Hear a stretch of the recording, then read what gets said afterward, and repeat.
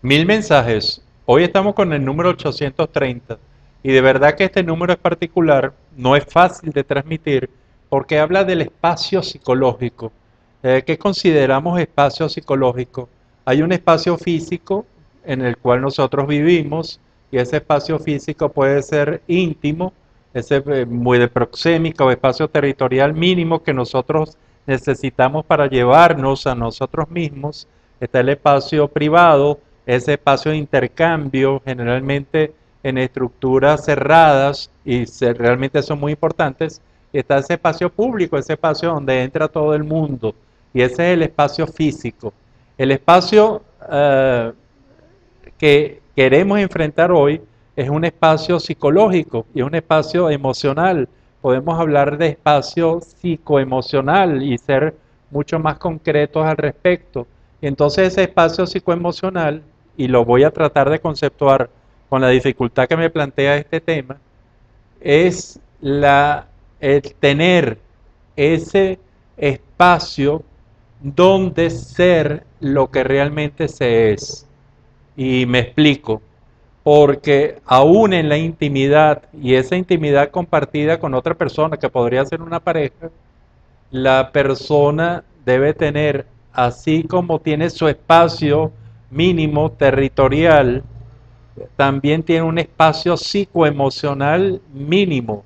Y es cuando se ve en muchas parejas y que parejas que se llevan bien, etcétera, y que se, no tienen grandes inconvenientes en otros aspectos, pero el espacio psicológico y psicoemocional de una de las partes es un espacio muy particular y es un espacio en el cual se siente ampliamente vulnerado muchas veces, aunque la otra parte no lo quiera hacer. Y entonces aquí comienzan muchos problemas y de verdad que son muchos los problemas de pareja que se presentan cuando uno de las personas que conforman esta pareja entonces sienten que están siendo violentados, que están siendo obligados a abrir y abrirse en un espacio psicoemocional que le pertenece, pero que si tiene la claridad necesaria para saber definirlo, para saber conceptuarlo, lo podrá defender y podrá explicarlo sin que la otra parte se sienta ofendida, porque muchas veces al no conceptuar bien qué es ese espacio de tipo psicoemocional concreto, entonces la otra gente siente como que se está cerrando. Y no es que ese espacio ha estado siempre cerrado, porque es un espacio mínimo en donde la persona tiene la posibilidad de ser psicoemocionalmente quien se es. Y que cuando se comunica de esta manera, probablemente la otra parte también descubra su espacio psicoemocional mínimo el necesario que tiene para ser lo que es y generalmente estas dos personas se comienzan a respetar estos espacios y no es que no haya intimidad, sino que hay un sitio, un espacio que puede llevarse también a los territorios físicos de la intimidad, hay un espacio en donde una pareja, por ejemplo, por más confianza, por más amor, por más afecto, que sienta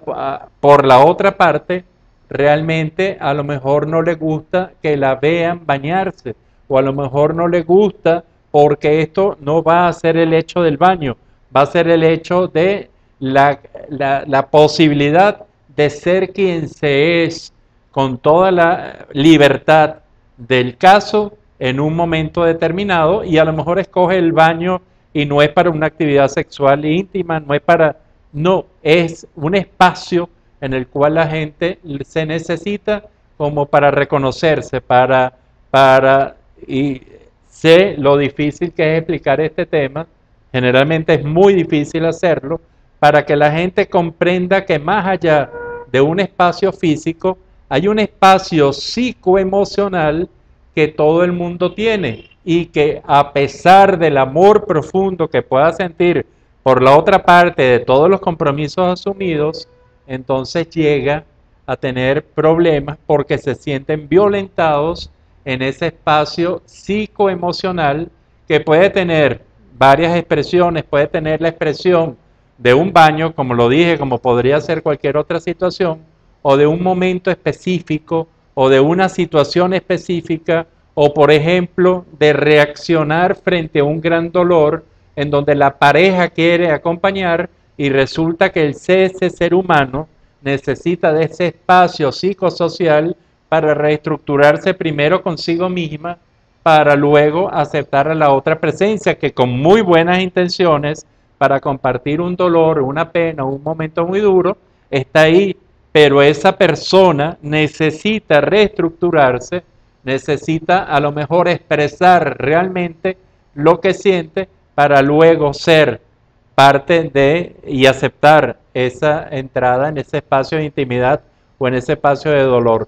Ojalá que lo haya tratado y lo haya explicado en forma que me hayan comprendido porque esto forma parte de muchísimos problemas de pareja. Cuando uno ha visto parejas por muchos años y cuando toca esto del espacio psicológico de cada uno de los miembros, probablemente todo el mundo lo confunde primero con la intimidad y con el espacio físico, que podría ser una expresión, pero no es toda la expresión. Hay un espacio psicoemocional en donde la gente quiere a lo mejor expresar sus emociones de ira sin que nadie lo vea, o sus expresiones de tristeza sin que nadie lo vea, por más que quiera y por más que acepte la otra parte.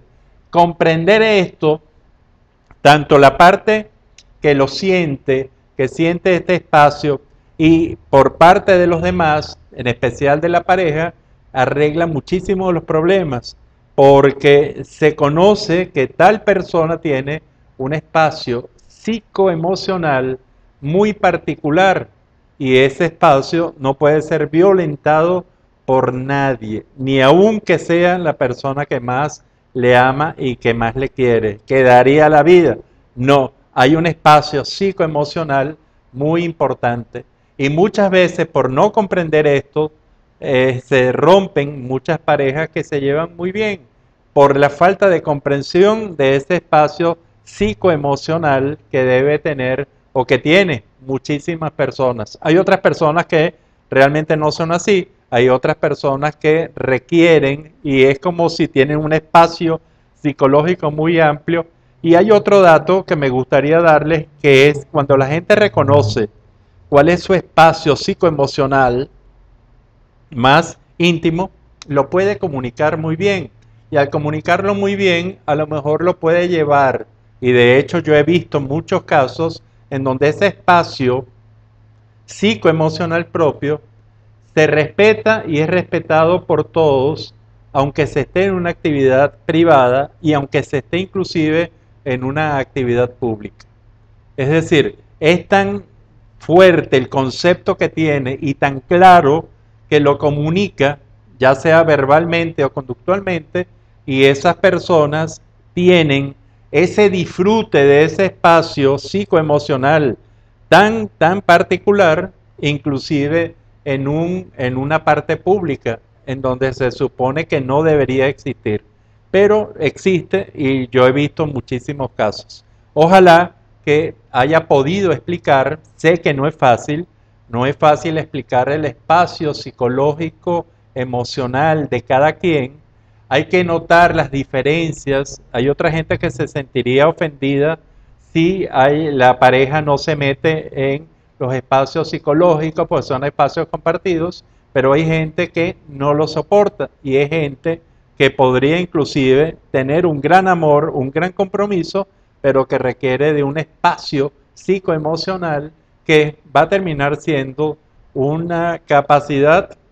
temporal, por un tiempo, a lo mejor no es ni un día, a lo mejor no son ni unas horas, a lo mejor son unos segundos, a lo mejor son unos minutos en que la gente tiene que eh, tener y vivir ese espacio donde ser lo que realmente es, sin que esto signifique que lo que esté saliendo a nivel íntimo con otra persona, a nivel privado, a nivel público, sea una mentira, sino una modalidad, algo que la gente se ha establecido a través de la educación, de carácter, personalidad, características psicológicas de cualquier tipo, ha establecido un aprendizaje.